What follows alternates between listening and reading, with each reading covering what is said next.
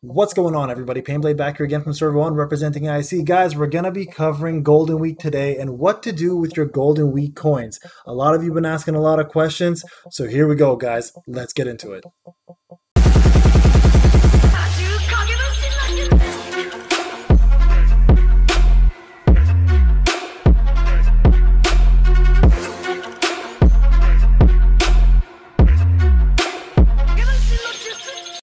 Right, guys, we're back here again. Now, I hope everyone's been enjoying Golden Week. I know it's not what we expected. I know nobody expected to have UR Naruto back. Nobody expected to even have this mission assistance back so quickly after having the anniversary.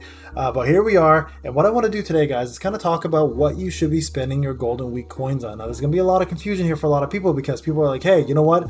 We get a free UR Naruto that should be your number one focus, but that actually isn't what you should be focusing on. There are other reasons why you want to use these coins for something else. Plus, I want to talk about what the most efficient way to get stamina and also how to use stamina to get the most amount out of this event. All right, so let's actually jump into guys the, the actual uh, marketplace here and look at the Shinobi Return Exchange. That's what it's being called. It's no longer called the Mission Assistance Coins. It's being called the Shinobi Return Exchange. Of course, probably signifying the fact that we will probably get SR Heavy back again at some point if SRs even still exist, or hopefully something brand new eventually. But right now, what I want to talk about, guys, is what you should be focusing on. Now, everyone's going to say, they want to get UR Naruto. This is an opportunity for you to get a 7-star UR, of course, if you're whaling. If you're not whaling and you're just playing a normal game, uh, as an F2P, you can actually get them to at least 5 stars, which is very enticing. But what I want to kind of signify, guys, to you guys is this character is a little bit outdated now. The SR Naruto version, if you have KCM, uh, they'll do plenty that this character can do, plus more with KCM, of course. So realistically, that's not who you should be focusing on. Your main focus, guys, should be on these these little items here called Awakening Scroll Prize Box and Awakening Talisman Prize Box. Now, the reason why I'm, I'm pointing your attention to these instead, guys, these are not possible to get after you get the arena versions of them, or if you buy the Blessing Packs versions, they're no longer available in the game. Uh, and this is the first time ever they've given us the opportunity to actually get these rewards. Now, 3,000 a pop, you need maximum 6,000 a day to get these ones, minimum 3,000 to get one of them. Now, what is the purpose of this, right? A lot of you might be asking that question. I'm to show you guys real quick, okay? So my, my Kakashi, when I, before I started this event, uh, was sitting about roughly 88k. Uh, now he's at 90, 944, okay? So here's what the, the importance of these scrolls and talismans are, all right? If I go to it real quick, if you go to right here, this tab called scrolls and talismans, talismans, you know you can actually level these up, but there's also the option to awaken them.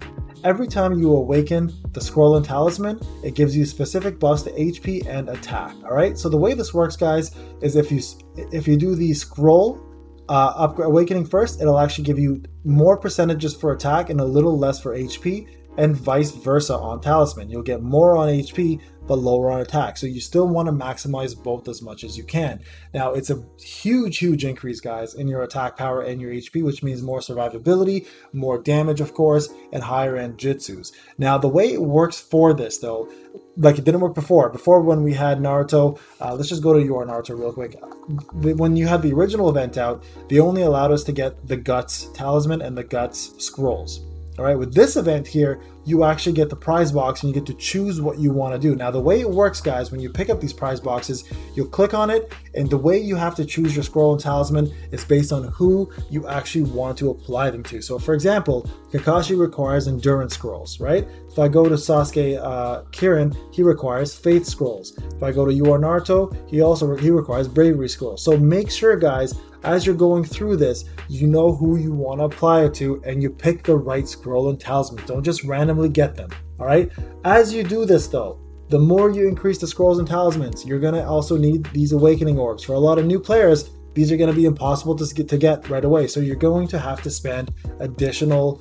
Um, uh, additional coins to actually get these from the store. This also costs 3,000. So a total of 9,000 will get you exactly what you need. Now, for free to play players, this is going to be impossible to max out. You need to actually use your stamina very efficiently. So guys, these Shino coins here, as you see I have 135, that's my browser version, don't worry about that. I have way more on my mobile because that's where it all sits. But you want to use this effectively, guys. You essentially want to, for this event, let me go back for a second. Sorry, wrong one, I meant to click on stamina.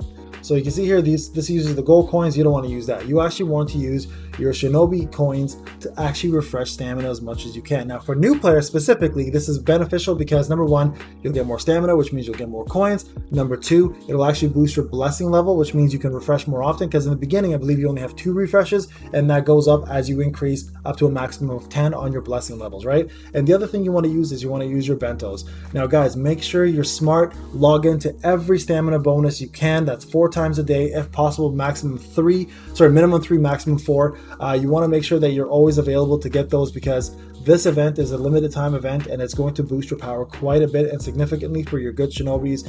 Uh, so you want to do that. So the key here, guys, my suggestion is max out your refreshes as much as you can using shinobi coins. Right now, you're getting shinobi coins for free from two different events. You're getting from the Golden Week event and you're getting for the month of May login, right? So make sure, guys, instead of applying and getting summons on that, use them efficiently and get these awakening scrolls and these awakening um, talismans because they're going to be gone and they're going to be really hard to come back by. So make sure, guys, you're focusing on this more than anything. This here is also pretty essential because you can't use these without this, but as you go up in the game, these become a little more abundant while the Awakening Scroll prize box and the Awakening uh, Talisman prize box are still almost impossible to come by. So guys, this is going to be your goal. Now, right away, I'm going to tell you this use it on characters that will push you further and further in content, specifically Kakashi, Obito, uh, Sasuke Hebi. Those are the three main ones that come to mind. I would not be putting on anyone else besides KCM outside of those three uh, because they're the, the powerhouse hitters and you want them just to hit harder than before because things like the flashback genealogy event that's going on now, those are going to be your main damage dealers, right? So